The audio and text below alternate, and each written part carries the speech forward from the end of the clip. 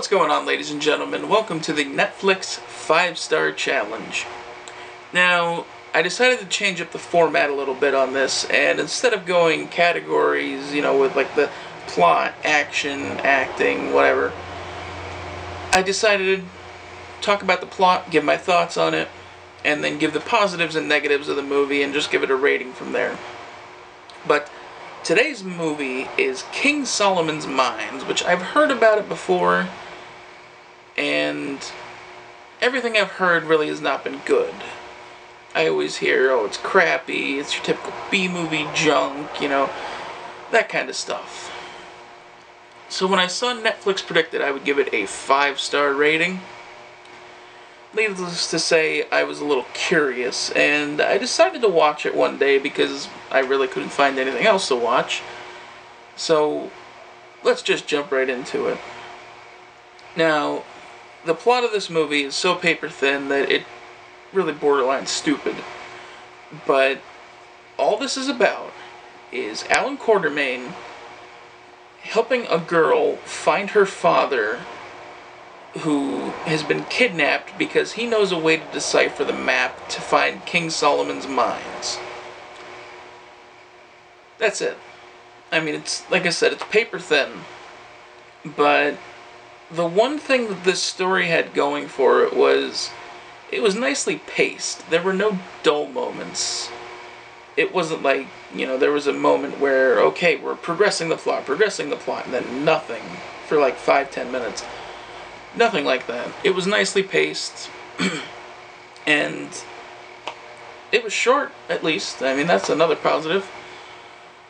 But, plot, eh, in a movie like this, the plot's really secondary so, for what it was, it was decent.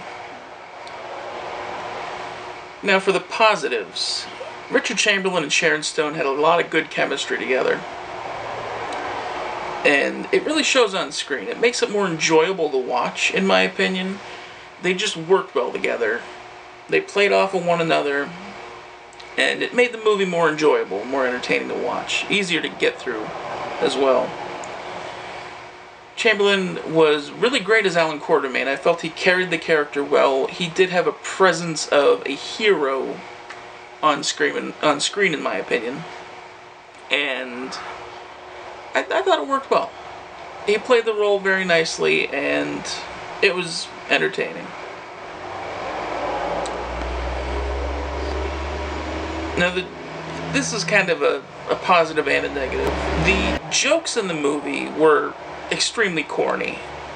But in a way, it kind of added to the charm of the movie, if that makes sense. It's like almost like the jokes were so bad that it added to the character of the film.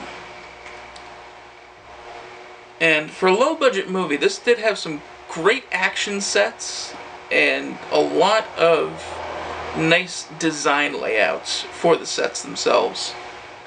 I mean, the villages are varied and none of them look alike. So that's definitely a plus. There wasn't too much I didn't like about this movie, but there are a few things that I did have. The film felt like it was just a chain of action sequences. Our hero gets into one predicament.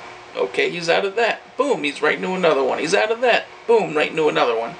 That's the entire movie, pretty much. Finally, while it was done to play up the comedic aspects of the film, there were some points where I felt the movie did things that were just stupid. I mean, just to give an example, hopefully I'm not spoiling a nearly 30 year old movie for anyone, but one of the villains gets shot. You think he's dead. Five minutes later, he's back. What was the point of shooting him? I mean, it's just stupid things like that that kind of ruin the movie. But, you know, overall, it's not a five star movie. If I had to put a rating on this, I would probably say King Solomon's Mines is three and a half stars.